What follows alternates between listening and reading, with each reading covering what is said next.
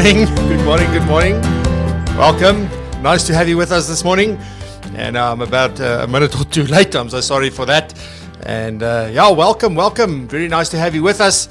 And uh, I really look forward to uh, sharing a little bit of golden nugget with you this morning. Really excited about what I want to talk about and just the story I want to share this morning. I don't think we're going to be that long this morning, to be honest, uh, but this is going to be a good chat and uh, really something that's going to be of value to you. I promise you that. I'm going to talk about, uh, let me show you, I want to talk about these two brushes. This brush, 16 bucks, or what did I pay for it? 13 Rand 90. I don't know when this was, this was a while back. This brush, 415 Rand. So uh, I want to talk about why is there such a difference in a brush that is supposed to be sort of the same thing or, or, able to do the same thing in our mind. And why uh, are people like me willing to pay 415 rand for a brush like this? So uh, yeah really excited to, to sort of share that with you and uh, let's get uh, sort of into into the story. So, good morning, good morning, uh. Thank you so much. I saw your your comment earlier. I was still sort of preparing, so I wasn't uh, able to respond yet. But uh, he says that he is addicted to the show and he's going to miss the FPI opening. Yes, today uh, is the start of the FPI's digital convention. Uh, so I hope those of you that will attend will enjoy it. And uh, if you're going to the gala dinner tonight, I may just see you there. So uh, thank you very much. Uh, I hope you enjoy that. Thanks, Kobus. I appreciate it. Uh, I have a little surprise for you uh, in a second, so just hold on. Almin Lotren, good morning. Nice to see you. has been a long time. Yes. I've got Renee. Good morning, Renee. Tines, good morning. Malcolm, good morning. Denise. Wow, everybody's here. Ga- Carol, good morning. Uh, ben Kleinhans, good morning Ben. Uh I've got Chart van der Walt. Goeiemôre Chartie. Uh, ek hoop dit gaan goed. Ek was gister daar in Pretoria. Ehm um, toe ek aan jou gedink uh, when I passed uh what is it? Castle Walk, is that the place? Uh, Mark Lane, good morning. Nice to have you with us once again. Uh, Jaco Roots, goeiemôre. It's been a while. Well, not that long. I did see you the other day. I'm lying. Good morning, Adrian Jordan. Goeiemôre. I hope you had a good birthday. Um, was a long week without Friday's show. yes, uh, I also had a call from Kobus on Friday. He says like he's sitting in front of his computer and he doesn't know what's going on because the show's not coming on. Um, but yes, so thank you very much. I do appreciate it uh, it's it really means a lot to me, all the support and all of that. Uh, so just from the bottom of my heart, thank you so so much. Uh, yeah, so there's a few things. Uh, on Friday, we've got a. I'm going to be a special guest on the what do you call it on the uh, morning commute with Next Gen Planners. They started it uh, earlier in the year when we're in lockdown and all of that. So if you want to check that out, they did post the links. Uh, I will probably send the link via WhatsApp. So if you're not on the WhatsApp uh, as yet, please go and, and connect with me on the portal. Uh, and then on the portal, you can just say get notifications. Uh, so let me make that easier for you. If you want to scan the QR code at the top of the screen, you can get to the portal. And on the portal, there's a button that says get notifications, and that'll automatically uh, let you join the WhatsApp group. So if you're already getting notifications from me on WhatsApp, please don't do that means you're going to get it twice. So, uh, but if you want to join that group, it's just a one-way group. It's only me posting, so no, there's no conversation going on there. It's literally just so that you know uh, when things like this happen or when there's something uh, that I need to let you know of. So, uh, yeah, if you want, I, I, will share the link on WhatsApp and you can then uh, also watch that. It's completely free. Uh, it's going to be half an hour. There's a whole host of things happening. So that will be Friday morning. So really looking forward uh, to that. And really privileged that they've asked me to be a special guest on that show. So, so that's the one thing. Um, what else was there? Um, just quickly, yeah, so just remember if you want, you can go check out the review of the Virtual Financial Planning Summit that took place. Uh, we had a catch up with Kevin uh, last week, Friday really some interesting stats and some interesting information. So it's here on the channel. If you're on YouTube, just check it out. Um, it's it's on my page uh, where you'll find uh, that. So um, yeah, what else was there? It feels like I'm forgetting something. Uh, all right. So apart from that, um, so I am obviously very very happy and uh, excited to welcome my first supporter. Uh, remember, we said that you're able to uh, support the the show and uh, you can do that through uh, visiting our Patreon page. So uh, if you want to do that, um, you could just go to patreon.com forward slash VCF. I also sent the links and everything and the information and why I'm doing it on uh, WhatsApp. So if you want, you can support me from from that point of view. It's absolutely voluntary. Uh, there's no uh, expectation that you have to do it. But I'm really uh, excited to welcome uh, my first one. And there you go, Kobus. Thank you. Uh, sorry, yeah, it means a lot. thank you so much. Uh, for for being my first. Uh, and you're an Avenger because there's different levels. You can choose at which level you want to support. So Kobus went all out and he did the Avengers. So uh, thank you very much. Uh, good to give you the badge and uh, say thank you very much. I deeply appreciate it. And uh, if you want to follow Kobus's example, please do so. Don't be shy. You can stop it at any time. Um, there's different levels that you can choose. So uh, just from my side, Kobus, thank you very much for, for that. Alrighty, so let me get into the show. Let me not uh, waffle on about too many things today. I think it was only those two things that I wanted to sort of share with you. Um, Let's just see quickly. Nadia says, Good morning. Summit was so insightful, especially succession planning. Yes, I think uh, for me, particularly day two and three was really awesome. And uh, yeah, but uh, you know, different people are taking different things away from it. So, uh, but it was really good. And I'm happy to hear that it'll be back next year already. I think the 7th of September is the date. So, and if we're allowed to sort of go to conferences and stuff, you know, there might be a way to uh, to see each other again. So, so really looking forward to that. So, so take a note of that one. Alrighty, so what is it that I want to talk about? Um, sort of when I said this is the, the difference that your story can make. Um, I was always, when I started doing miniature figure painting, you know that I've, when I've shared my hobby with you before on this channel, or in the show, we spoke about it and I showed you all the different things that I've painted and I've built. And I'm now busy building a whole host of things so I can paint them again. And uh, that sort of made me think like I had these brushes come from, from England. Um, now, these are not 100% the same as the ones that I want to talk about, but they are very similar. And they are a lot more expensive than these ones. Uh, so these are the ones that you'll get at uh, PNA, CNA even, I think if they still do things like that, but any art shop would probably have these if you go and look for them. And I want to show you, so let me, let me quickly uh, share my screen first of all. Let me just see where are the prime art. So here we go. All right. So if I share this with you, here you can see I'm looking at a number two brush. So just a normal, what we call a round number two. It looks like a normal brush that you'd know. 16 Rand at the moment for a brush. Okay, I paid 14 bucks for this one. So there you can see that is what uh, we've got in terms of in, in terms of that.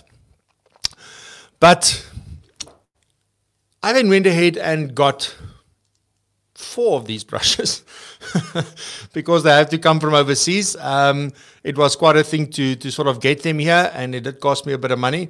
But there's a reason why I sort of looked at this and thought like, you know, this is this is the thing that I that I need. And uh, but the one thing that I never could understand was why are these things so more? Why are, why is this one brush that looks exactly the same as the other brush, apart from maybe the color of the handle or the color of the bristles? Why is there such a difference in? And I'm not I'm not going to pay 415 rand for a for a brush if I can get it for 16 bucks. I mean, anybody that's got some sense in them will tell you that's ludicrous. But then I sort of, I sort of um, found the story behind because I started doing research and saying, but why is this particular brush so expensive versus the other things that I'm getting now? The first thing to note is that this brush, so luckily they've got two different color handles. Uh, but this grayish one is the synthetic, so it's made from synthetic bristles. Uh, so they're not real hair or anything like that. Um, but this is what this one is made of. This one is made of Kolinsky sable. Well, this one particular is red sable, but the one I want to talk about is made from Kolinsky sable. And that is seen to be the best hairs that you can make a brush from it makes the best tip and all of that. But where did all of this start? So I want to share with you the story of how the Kolinsky Sable, the Winsor and Newton Series 7, by the way, yes, it sounds like a gun or something. Um, because I guess in the hands of the right person, it can be very dangerous. They can they can paint some awesome stuff. But what happened was in 1866, Queen Victoria requested that uh, they must make a brush that is the best, will be the best and, and finest watercolor brush available, and it must have the finest, finest tip of all brushes. So the first time that they created this brush was in 1866. And uh, there are only, and yes, yes, sort of the, the, the, the kicker, that they're still using exactly the same process. So in this case, I'm pretty sure that there's no human being doing this. This is probably a machine making this um, and pushing them out at high quantities. These brushes uh, from Winsor & Newton are made by hand, still the same process. There are only nine brush makers in the world that can make these brushes. And by the way, I've linked on YouTube in the description below the actual video that you can go and watch because you have to, like, I can tell you the story, but you have to see it. You have to see what this entails and hear from the people themselves who are doing this. But there are only nine brush makers in the world that can make these brushes. To become a brush maker, there's a three year apprenticeship. Most of them have got 27 years of experience, 28 years of experience. Uh, that's there. And yes, the other kicker that I absolutely loved when I heard this is that because of the, the, the intricacies and the complexity and the, the preciseness that is required, it's only women who are making these brushes. Um, it's absolutely amazing. So there's obviously a few a few parts to to this brush. Uh, you've got the hairs at the end. You've got the, the ferrule that holds that or that connects the handle and the, the hairs and holds them in place. And then you've got the, the handle itself. So Winsor and Newton, they're only using uh, for that particular brush. And just by the way, uh, if you think about how long it takes, if you take the biggest brush that you've got, let me see if I can show you quickly. Uh, where is my share screen? Uh, let me just choose there, uh, Winsor and Newton. So uh, there's not a proper, um, but let me just go down here. I will show you sort of the biggest one you've got. You see here, round eight is special order, and you can see how big they get. And around 10 is special order. But watch that price 4,450 Rand, not for all those brushes, for one. For one brush, for 4,450. But these biggest brushes take up to a week and a half to produce. So, I mean, that is absolutely something. Uh, and, and when you watch the video, you'll see exactly why. So, what is the process? So, let's start with the hair. So, what they do with the hair is that um, it's all done by hand. Uh, they only use Kolinsky sable, which they say in weight is uh, it costs three times as much as gold if you weigh the same weight. Um, it comes from a Siberian weasel that is hunted sustainably every spring. So there's very strict codes and conducts and things. So they hunt them sustainably. They only use the, the guard hairs from the tail. So when you see a picture of this this weasel, you'll see that they've got a, like a, a, a, big tail and that. So they use it from there. And uh, then what needs to happen is because there's a lot of wool in between the hairs, it needs to be removed by comb, and it's all done by hand. And then what these brush makers are able to do by hand, again, is separate those hairs into anything between 28 and 32 millimeters in length just with uh, with their hands. So no measuring, no nothing. They take them out and they, you'll see on the video, they put them out in, in, in groups and, and all of that. So they can even see when hairs are the wrong way around because they've got to be all facing the same way. And the reason why they use Kolinsky sable or why it's, it's the best that they've found for brushes ever is uh, they've got scales that go in one direction and it makes uh, for a broader sort of surface to, to, to carry the watercolor and, and all of that. So it's just absolutely amazing to see this. And then they've got uh, the ferrule, which is obviously then uh, attached at the end by uh, obviously um, just, just by a machine. And uh, they use birchwood handles that they import from Italy. Um, and then it gets stamped with a name, uh, the number, uh, and, and all of that. But they produce, and you'll see, I mean, there's only nine brush makers in the world that can make these brushes on their own. The other people that are there are still apprentices, they're learning because obviously they need to continue this. And, and to think that those people, if you look at that little factory, makes uh, 25 million brushes a year. And that, uh, I mean, you're not going to make 25 million brushes if people are not buying them. And, you know, once I, uh, I sort of watched this and I saw what went into it and the care and the preciseness and just why is this a better brush than anything else, I went out and I got me one.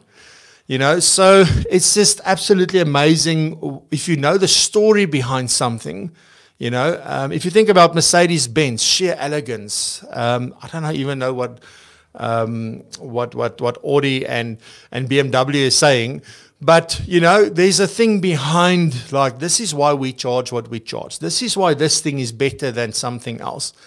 So then I started thinking about but what about your story or my story? Why am I doing something? What is it that's driving me? I, I think about, uh, and I've mentioned Kim on the on the on the show before, and she was going to be on last week, and then something happened, so so we just gonna we just postponed it. Uh, she couldn't make it. But if I once I listened to her story of what's driving her and why she got into financial planning, I mean that is so powerful. I think about Puli. Puli is a is, is a lady that I worked with uh, that is with Morebo uh, which is a Liberty franchise, um, she has such a powerful story of why she got into financial services in the first place. And, uh, you know, I'm so inspired by those kind of stories. And it makes such a difference, one, to how you view the person. Secondly, you know, um, what is it that, that drives them? And uh, you, uh, you just experience everything in a different light. So, my question to you then today is, you know, how are you what are you doing with your story? What is your story? You know, have you sort of, I think maybe a lot of people feel like they've just ended up here. This was sort of my last option. And I read something the other day on LinkedIn where somebody was saying, well, this is my last, this is often somebody's last and only option when they can't find a job anywhere else. And then some will find that they love it and some will find that they don't. But, you know, what is your story? What is, what is your, uh, and we shouldn't be afraid to share our story. You know, um, I mean, I've got a very interesting story of how I ended up where I am today. And also, there's lots of things happening at the moment. So, um, and all of this is sort of culminating to where my life is going. And um, it's just amazing. So, that is my question to you this morning.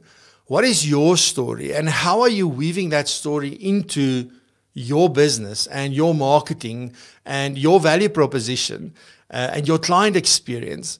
You know, um, if, if you really want to understand, I'm, I'm busy building a, a program, and as part of that program, we're really looking at, you know, uh, the new way of, of selling and uh, what that really entails. You know, and it's all about being able to put yourself in the shoes of the other person, being able to see it from their point of view, being open to their perspective and not using our own frame and our own sort of experience to, to decide what is and what is not and uh, you know to really decide is it this a good fit for me or not? Is it this a good fit for the client or not? And all of this i think lives within your story. So my challenge to you today and sort of uh, you know what i want to want to want to ask you to go and do for the rest of the week seeing that i'm only back next week you know is go think about your story. And if you want you're welcome to share your story with me as well. You can send me an email at info at francois.co.za. Um, you know, if you want to WhatsApp me, send me a voice note, whatever, you're welcome to do that. But what is your story? Why are you doing what you're doing? Or maybe even there's things that happened in your past, whether good or bad, that has really shaped the way you do things today. But maybe you didn't make the connection about like just how powerful that story can be in my business, uh, or maybe you're of the of the viewpoint that your personal life is completely separate from your business life, and you don't want to mix the two. And it's not to come and bear your laundry in open. That's definitely not what this is about. But what this is is to uh, for you to understand. Number one is what drives you. You know what is important to you. Why do you, you know, why, why do you focus maybe on the things that you do? Why are certain things more important than others? And by simply sharing your story or by weaving your story into your business's story, if you want, you will attract the right people for the right reasons. People will resonate with it. Some people will be like, no, thank you. And that's great. So I don't know. How did you experience sort of that? And I know if you're not painting, you maybe won't have an appreciation for for the difference between the two brushes, and you may still think that Francois to pay 415 for this one if you can get this one for 16 is still ludicrous. But um, you know, once you understand what goes into it, how long it takes, the care that is taken, the skill that is required, and uh, you know, then you view it at a at a different sort of thing. And then I can paint little details with this thing that I can't do with this one. Um, there's a lot that happens. By the way, this thing starts splitting and hairs go everywhere. This keeps a fine point and uh, you can paint very, very fine detail. So, uh, so yeah, that for me was an investment. Again, it wasn't it wasn't something that costed me anything. But um, by the way, so yeah, what is your story? You know, what do you feel? Um, so let me just quickly run you through through the comments. Uh, I see Rosani's here and Charity. Good morning, ladies. Um, I felt so guilty to 100. Thank you, Kobus. No, no need to feel guilty. Um, but I appreciate it very much. Um, it is such a small amount, so uh, thank you very much. Uh, good morning, Karen. Nice to see you here. Uh, thank you very much. Hello, Renate. Hoop het gaan goed. Uh, Nico, good morning. Nice to have you with us. Arun, good morning. And then uh, nothing like storytelling, Francois. When I have my cup of coffees with struggling advisors, I listen to the stories first as it's critical. It's absolutely critical. And, uh, you know, it's, it's, unless we share our stories, you know, our probably we won't always be heard. You know, there's got to be something that we've got to share. So uh, yeah, that is that is my sweet and short story this morning. Uh, I'm not gonna I'm not gonna drag it out and make a whole thing of it. Um, I want you to go watch the video because it is so you can see how they comb the hairs and, and remove the wool. You can see how they separate it, how they turn them around so that they're all facing in the right direction, how they make them fit perfectly into the ferrule, how these things are all put together, how they how they get the lettering on here, the whole story behind it. So all of it. it's only a six minute video. It's not a very long video. So please go go and check that out. Um, yeah, and that is sort of my story. So um, just very quickly, if you want to uh, obviously uh, support, please, uh, you can go to patreon.com slash VCF or just check your WhatsApp because I did send it. And um, yeah, if you want, uh, please remember to like and share and subscribe and do all that good stuff uh, for, for us to, to help us grow the show. We're on 707 uh, this morning. So thank you very much. I think everybody here is already or already subscribers. So uh, thank you very much. But um, that is where we've, we've grown to. There's a whole host of things in the pipeline um, a, a, few interesting ideas and things that we're going to throw around. So let me share with you one of them. Uh, so one of the things I want to do, as soon as I can figure out exactly how, um, we're going to do a live live show. So what is a live live show? well, a live live show is where I, I want to do it once a quarter. Uh, and uh, once a quarter, what I'm going to do is probably, I don't know, rent a place at Silver Star Casino or somewhere. Uh, maybe there, maybe at Monty, maybe like different places. But what I'm going to do is then we're going to have a audience, obviously within the restrictions and what is allowed and not allowed and blah, blah, blah. But then we want to have an audience there, but we're going to broadcast live from there, the show, 8 o'clock on a Tuesday morning. And that is what we're going to do, but in front of a live studio audience, if you will. So we're going to have guests and obviously speak to them. And you can actually see how I do this and uh, how all of this then works. So really excited uh, about that. Uh, I'm busy with the with the planning. It'll probably only be next year. I don't think I'm going to do it this year. But uh, but that's going to be the live live shows that I talk about. So if you see it on the Patreon page as well, um, you know people that are on Avenger level will be invited as VIPs and, and all of that. So um, yeah, so the uh, so that's going to be great. I'm really looking forward to that. As I said, um, and if you've got any ideas about how we can make it happen, please get in contact with me. So uh, yeah, so we can see because obviously there's a, a lot of costs and things involved. So, so I want to see how we can get it done. And it, uh, the idea is that it won't cost you to come. You're not gonna, we're not going to sell tickets. It's going to be open for you to to attend. But um, yeah, that is that is the idea. So I'm very excited about that one. I don't know what you think about that. But uh, I think that's going to be very awesome. And, uh, you know, we can maybe have multiple guests on the morning and just have a good discussion uh, around two topics, maybe, because it's easy to have two guests at a time. Alrighty, ladies and gentlemen, I hope you have a fantastic week. If I uh, if you're at the gala dinner tonight, I will see you there.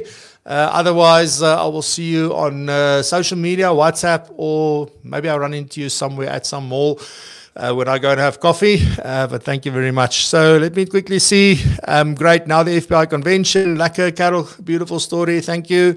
or maybe in Cape Town. Yes, absolutely, because I'm going to be coming to Cape Town. So uh, definitely, uh, hybrid virtual live in-person show. That is just exactly that.